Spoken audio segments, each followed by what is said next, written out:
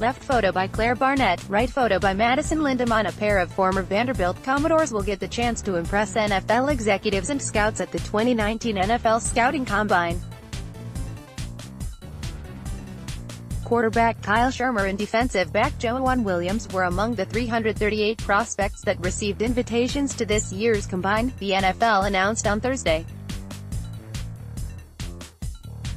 The Combine will take place from February 26 to March 4 in Indianapolis, Indiana ahead of the 2019 NFL Draft here in Nashville from April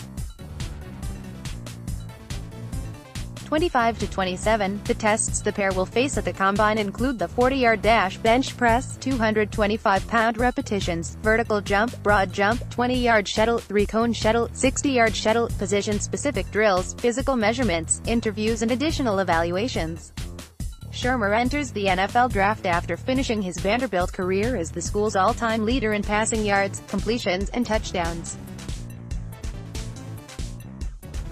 He also threw for over 3,000 yards and 24 touchdowns in 2018. From a skill set standpoint that can translate to the NFL, I mean, he's right up there with some of the best, former Vanderbilt quarterback Jordan Rodgers said in November.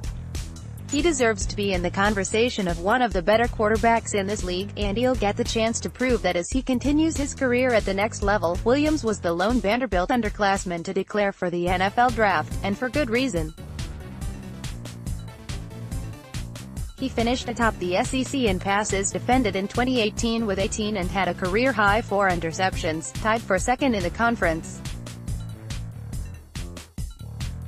In Todd McShay's latest mock draft on ESPN, he projects Williams to be selected 23rd overall in the first round by the Houston Texans. Man, the more tape I watch, the more I like Williams, McShay wrote. He's a long press corner with some strong ball skills. If Williams does get picked in the first round, he would be the first Vanderbilt player taken in the first 32 picks since Chris Williams in 2008, and the first Vanderbilt defensive back taken in the first round since Leonard Coleman in 1984. Following the Combine, Vanderbilt will host a pro day on campus on Mar.